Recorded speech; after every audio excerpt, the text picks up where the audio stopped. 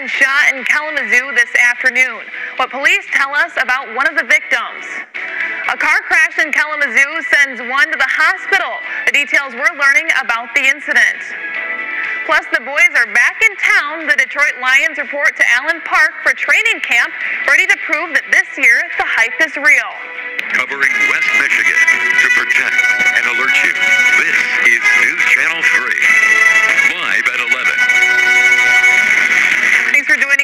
Pitcher. New tonight, police say two men were shot around 4 this afternoon in the city's Millwood neighborhood. Kalamazoo